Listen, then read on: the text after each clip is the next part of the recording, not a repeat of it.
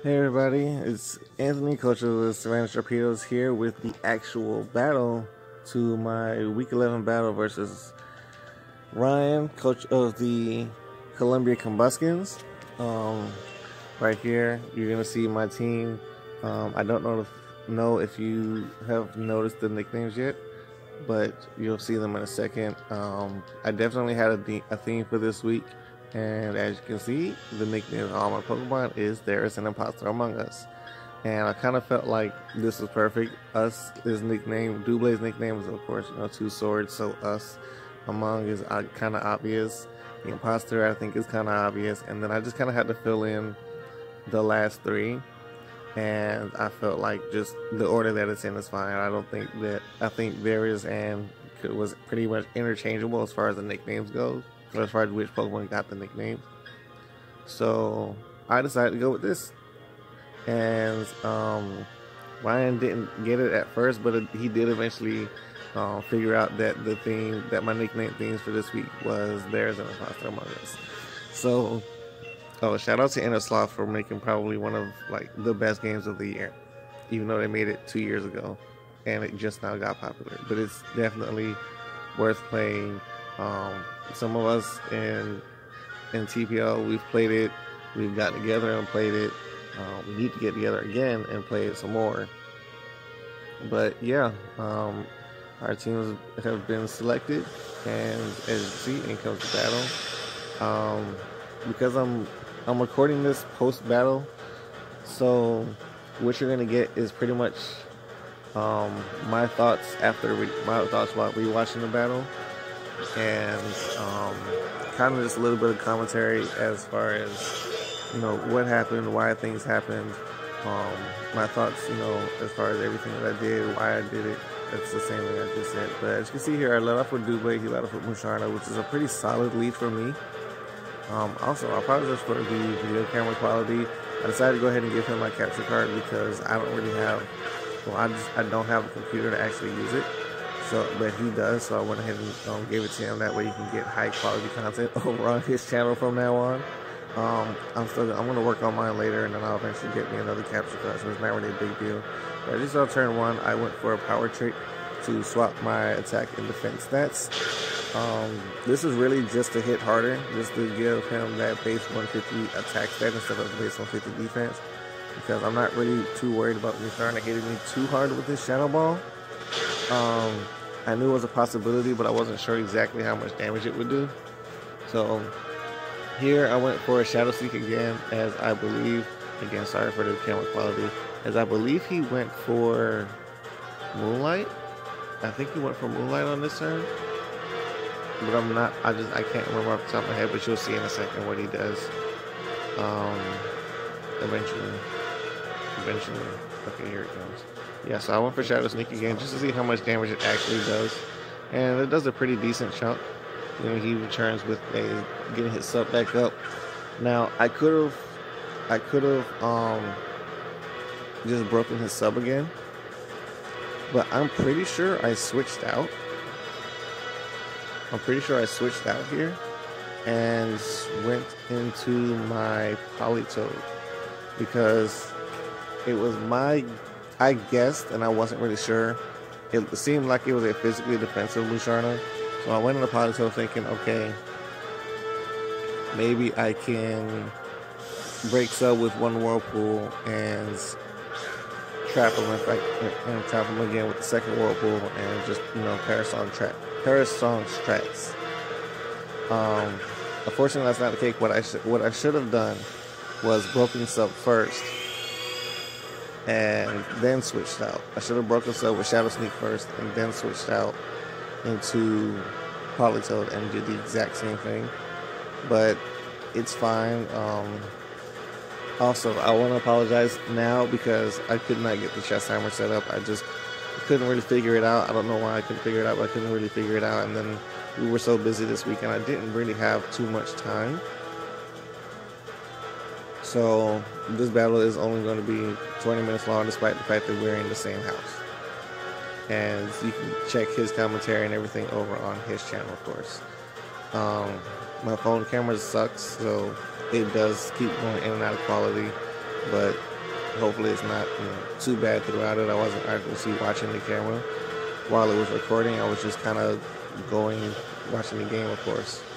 So I went for the whirlpool here. I was hoping with the rain that it would break this up, but it didn't. And as he goes back and he just heals up again, which it's troublesome for me because I know that he's gonna have that health later, and it's gonna be hard for me to get through it. So I went for the whirlpool again because I know this time is gonna break this up. Um, after that, though, I think okay. So after this, I know he goes for Moonblast. He's gonna see that I'm a especially bulky Politoed. I'm not max special defense. I'm about 216 EVs out of 252, but I still pretty much eat this up. Like I take, I think, 30 or 40 damage from that max, and then recover off the leftovers. I went for special defensive because, for the most part, all of his special attackers are neutral or mostly hit neutral to Politoed. So that means it's not going to be doing too much damage. It's not going to do that much special defensive damage as he switches out here into his Dhelmise, which is the one Pokemon you don't want to trap. Which, I mean, you can, you know, get some decent damage off, but he can just hit me with, what is it, Wood Hammer or something else. If he can trap me with Anchor Shot, he can trap me just as much as I can trap him. Um, and we don't want that. So I switched out here into my Amoonguss, I think. I believe I switched out. Yeah, I switched out into Amoonguss, um, just because I'm going to assume, I'm going to let him think that this Amoonguss is actually a threat to him. But really, my this Amoonguss is just a physical wall with bright powder for stuff like that. As you can see, him missing the poltergeist there. Um, got double team just for even more evasion. Toxic is to deal with anything that I can't really deal with otherwise. And my team is kind of built more to stall with a couple of you know heavy hitters. But team is built for the long game, which the long game was, you know 15, 13 more minutes of this battle. Um, so he went switched out, made a good play, switched out into his Skuntank.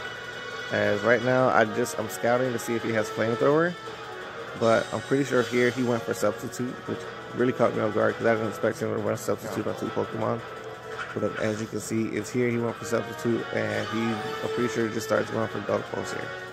Now, here's where I made a mistake. Um, my Amoonguss is actually mixed bulky just because of Skuntank, and I didn't remember this while I was actually battling, and I could have had him stay in and you know just soak up hits from Dark Pulse, but knowing that you know it has regenerator and everything. But I didn't think I wasn't thinking about that then. I didn't realize it until post battle that I forgot that it was mixed bulky. So I switched to Politoed knowing it's actually especially bulky. The just took a beating. He just you'll see in a second that he just took too many dark pulses. He took too many hits overall that he probably didn't need to take. And as we get later on in the battle, you'll see why. But the goal, of course, was still to break this up. Now I had a, you know a number of ways to do this, which was uh, I could switch out to Scrafty, I could switch out into um, my imposter with Mimikyu, but obviously you don't want to lose this guy if you don't have to. And with him going for Dark Pulse consistently, he's doing decent damage, so he's definitely got some EVs into special attack. I don't exactly know how many, but he's hitting pretty decently, and he's still behind the sub because Rain boosted Whirlpool is good, but with only I think four EVs and special attack, it's not really going to do much. But the goal here, of course, is to break the sub. But I did protect here just to give a little bit more HP recovery from leftovers.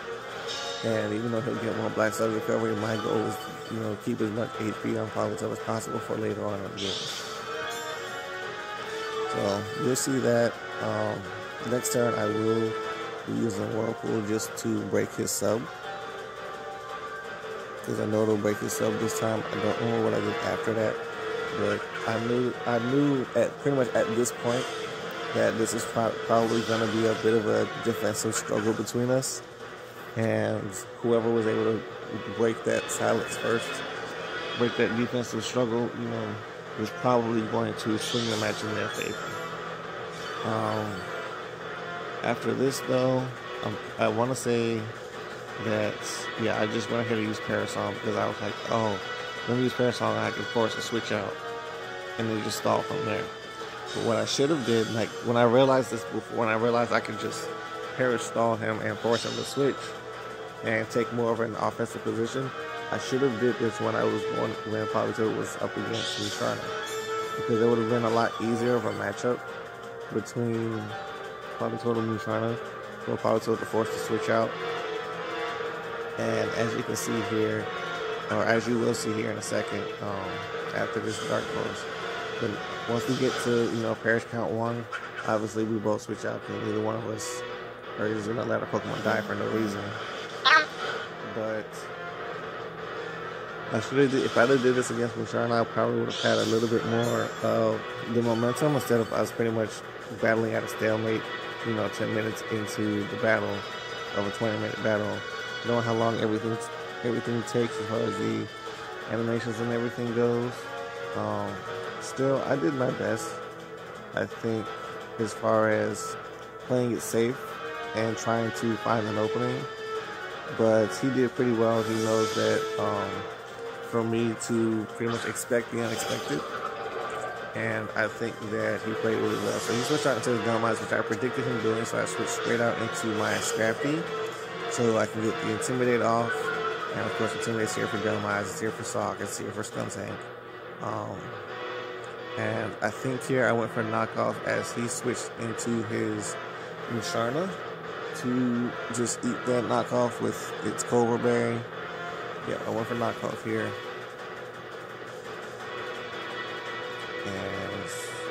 We'll wait, we'll wait, we'll wait. I'm pretty much just uploading the raw footage in itself. I could have what I was originally going to do was kind of you know splice some parts out of it, like the parts where it's connecting, you know, in between turns.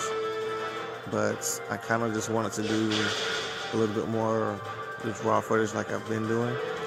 But what I think I'll do um, after this week is I probably will just start um, splicing it together and cutting out the unnecessary scenes. Like um, you'll see the beginning part of the Dynamax animation, but you won't see the whole thing. Um, the in between turns, I, I like having the in between turns just you know to be able to talk a little bit, but sometimes I feel like it just makes the video longer than it has to be.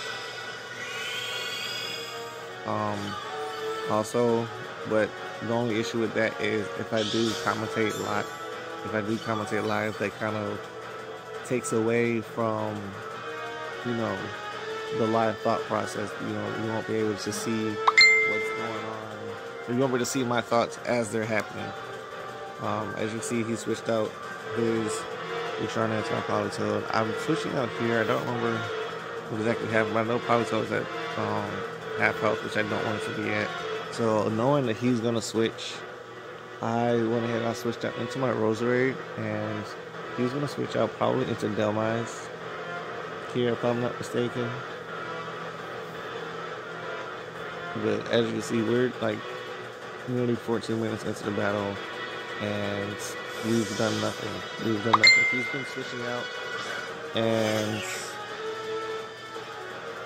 like he's been switching out, and we I've been switching out, and we've just pretty been going back and forth, doing nothing. He's been whittling me down though. Dude, that's that's the only difference. Like when he switches out, he's got a lot more of an offensive presence than I do. Um, so basically, I've just been slowly getting whittled down, and we're like unintentionally falling. It's really just a stalemate because he's still he's playing really well. I for um, toxic spikes there instead of trying to attack because at the end of the day, if I get toxic spikes up, um, it might come in handy later on. He breaks my sash with Poltergeist, and I was like, shoot, okay, maybe I should have done that knowing that he still has Skuntank alive. But if I'm not mistaken here, of course I switched out into my Amoonguss and not to hopefully get him to miss his Poltergeist again, or if he tries to Anchor Shot just to, you know, secure the kill or whatever, Amoonguss is gonna soak that up somewhat. And as you see here, it does probably about, let's say 40% damage, 40, yeah, I'll say about 40% damage. Um, I believe he goes for Poltergeist gear, just you know to get that more to get more damage off. But as you can see, my Amoonguss is shining bright. As you'll see in a second, my my Amoonguss likes to shine bright. Covered itself in a bunch of bright powder. I know it's raining, so the sun isn't shining. He's not blinded, but it is what it is. So he went for front, as I believe I went for double team here. Um, he gets rid of my toxic spikes. But now, with the black powder, with double team, it's going to be a little bit harder for him to hit me with whatever move that he might have. So, because I, I've only seen him on the special side, and again, I want to apologize because I forgot that my Amoonguss is mixed bulky and has 168 EVs in both in both defenses, and then the rest was all put in HP. So I should have um, played the matchup against Skuntank and was trying a little bit better as far as with my defensive Pokemon goes. But at this point, I had looked at the clock and I saw that we were nearing the end of the battle timer. So I decided to try and get more offensive because I didn't want to end in a 6-6 tie. I wanted to see, you know, somebody has to win. Um, in the league, we've been kind of tired of seeing ties, you know, do the timer or whatever the case may be. So I definitely went for a more offensive tactic here. And I sent out Scrap to eat this Dark Pulse, so Amoonguss doesn't have to. And here's where I kind of take a chance, knowing that he might have Play Rough. And I went for Dragon Dance, hoping for the best, expecting the worst. Um, I figured right here this was the breaking point of the battle. If Scrafty died here, I was guaranteed to lose. And what you see is he did, he did go for play rough. Um, and thankfully it missed. Thankfully that 90% accuracy kicked in, or that 10% kicked in. And I'm going for close combat, just hoping for the OHKO. It's at full health. So it's at full health, but I'm max attack adamant at plus one. So I was thinking that I should be able to take it out. Unfortunately, he lived, and he told me after the battle that he lived on 6 HP. And then me, now at minus 1 defense, getting taken all the way down to 1 HP. Getting taken all the way down to 1 HP from that play rough. And I know he has Sucker Punch. I didn't have to, um, I didn't have to switch out here but I just decided to go ahead and do it. Um, I know Scrafty is now officially useless, but I knew that Sucker Punch was coming, and there's no point in just letting him get a free kill. So, and I could have just Dragon Dance again, if knowing he was going to Sucker Punch. But if I had Dragon Dance too many times and then he just went ahead and killed me anyways, it would have ended up badly. So I just went ahead and switched out into Blade here expecting, of course, expecting the second punch, which he did go for. Now, my mistake, I think this was my first misplay, really.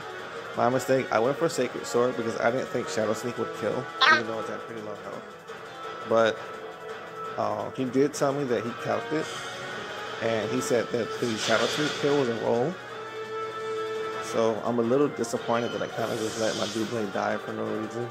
I think at this point, um, I knew I had to make a move, and this was the first time all battle that I've been able to safely get in my Mimikyu.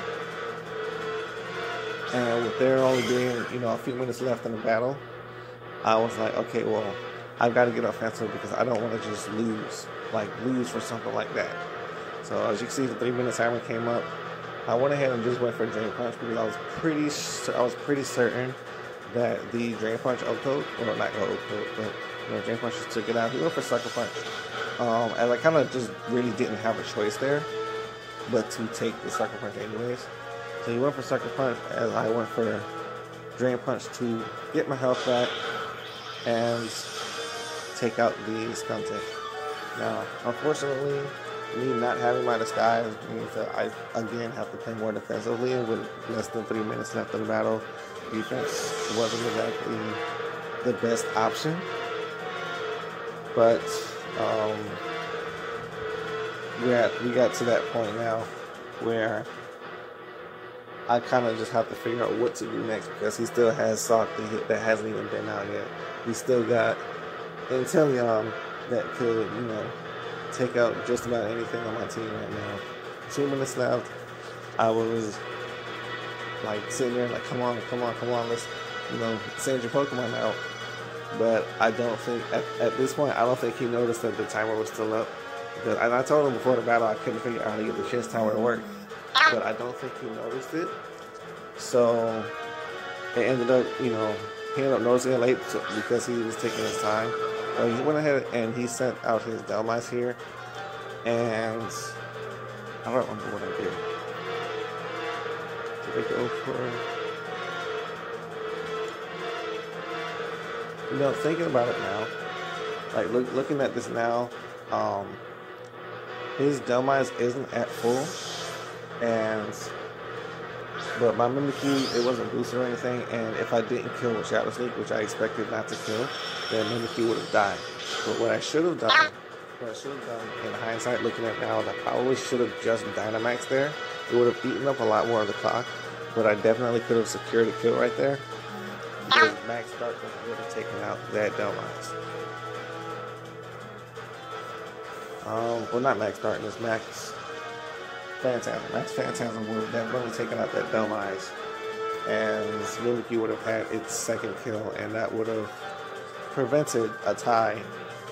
And given the amount of time that's left in the battle now, I probably could have just secure a win, but we ended up pretty much stalemating right here. As I pretty much I've got no choice but to stall and sit here and you know let the time run out because I don't really want to lose, but I don't want to give away a free win by letting him kill Amoonguss. So I just kind of stalled, and TPL chat is lighting up my phone right now. So let me mute that real quick. But as you can see, the time pretty much runs out in a blur. Um, obviously, says I lost to Ryan just because his team overall had more HP than mine. But in TPL terms, this is a 5 5 tie.